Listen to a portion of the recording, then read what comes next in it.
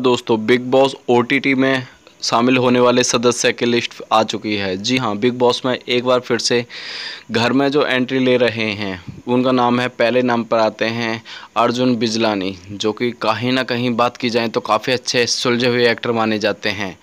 अर्जुन बिजलानी, जो कि टेलीविज़न के सुपर हीरो के तौर पर भी गिने जाते हैं, उनके साथ साथ में निया शर्मा का नाम भी सामने आ रहा है। खुद सलमान खान के थ्रू इनको ये ऑफ़र मिला था बिग बॉस ओटीटी के घर के लिए।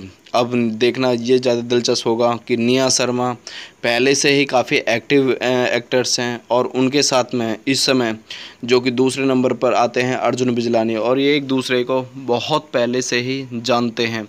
लेकिन देखना होगा कि अर्जुन बिजलानी और निया शर्मा आखिर कितना धमाल मचाते हैं बिग बॉस ओटीटी के प्लेटफॉर्म पर। साथ ही दोस्तों, निया शर्मा के बाद में तीसरा नाम आता है रिया चक्रवर्ती का। जी हाँ रिया चक्रवर्ती की अगर बात की जाए तो वो सुशांत सिंह केस में काफ़ी उलझी थी और उलझने के बाद में अब निया शर्मा के साथ में वो बिग बॉस ओटीटी के घर में एंट्री ले रही हैं। दोस्तों, आप लोगों को बता देना चाहता हूँ कि जहाँ पर आप देख पाएँगे कि अब अर्जुन बिजलानी का नाम पहला और उनके साथ साथ में निया शर्मा का नाम दूसरा हो रहा है।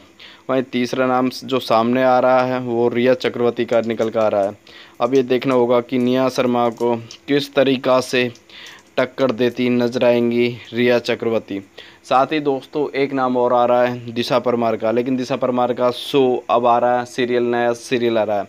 तो वो इस शो में एंट्री नहीं ले पाएँगे। लेकिन जल्द ही देखना होगा कि आखिर एक सीरियल के तौर पर वो नया सीरियल फिर से अपडेट करेंगे। लेकिन उस सीरियल के अपडेट के पीछे क्या कारण रहा है, वो तो अभी समय बताएगा। दोस्तों, आप लोगों से अनुरोध करना चाहूँगा, आप मेरी वीडियो को लाइक कीजिए, चैनल को सब्सक्राइब कीजिए, कमेंट